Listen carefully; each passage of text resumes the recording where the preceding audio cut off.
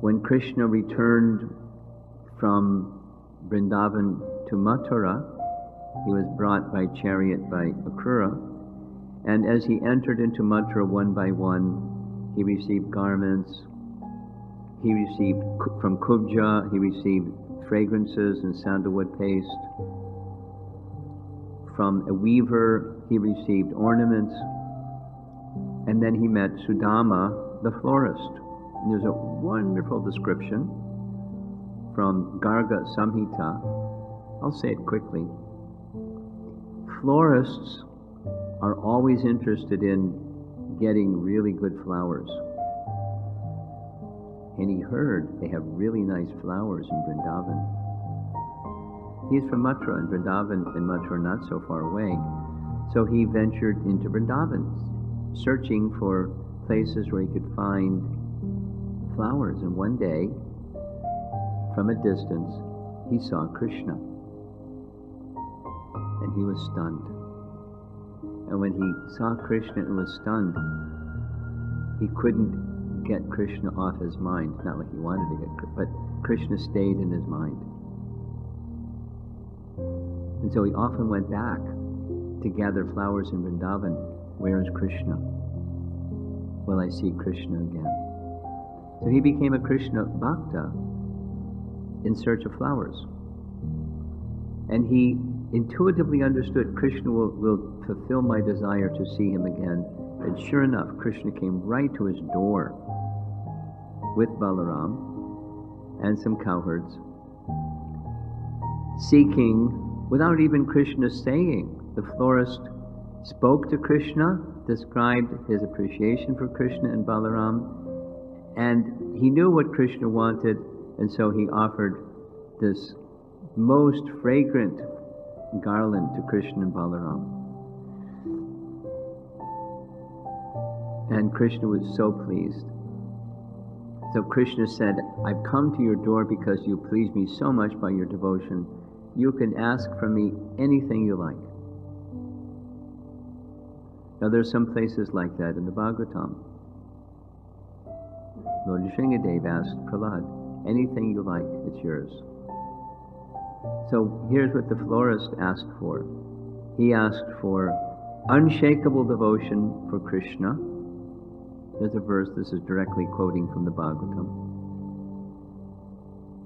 He also asked for friendship with his devotees, but he also requested transcendental compassion for all living beings. So any one of those, you know, what the goal is number one, but number one is not minus number two, and one and two are not minus number three. Our the, the, the transcendental perspective on the golden rule, it's not just doing unto others. The transcendental perspective is unlimited devotion to Krishna, the Supreme Personality of Godhead. You'll hear some more on this as we go along this weekend.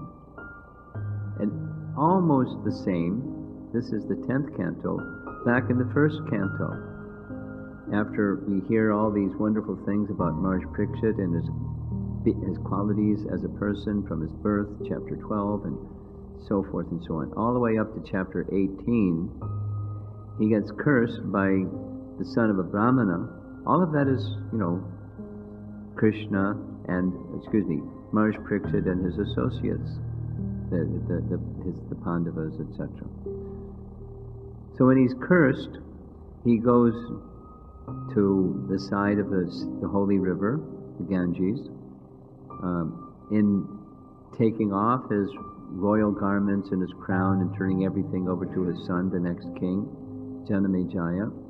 And he invites all the sages to come and advise him. So this shows Maharaj Parikshit instructing him. But before Maharaj Parikshit came, he spoke to the sages, the holy people that had assembled there, I pray that if I should again take my birth in the material world, I will have complete attachment to the unlimited Lord Krishna, association with his devotees, and friendly relations with all living beings.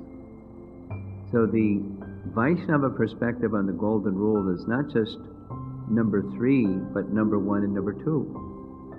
And or not just number one and number two without number three. We're, we don't put to the side acts of kindness for others. It's core to our life as Vaishnavas. But when we do so, it's with the purpose of pleasing Krishna, because pleasing Krishna is everything. So that service to Krishna is essential, and the compassion for all living beings is essential. And the best service we can do to others, the best, your best friend or your best friends are, according to Rupa, Ramananda Roy, those who remind you of Krishna. Those are your best friends. Those are your best friends. And if you want to be the best friend of others, remind them of Krishna.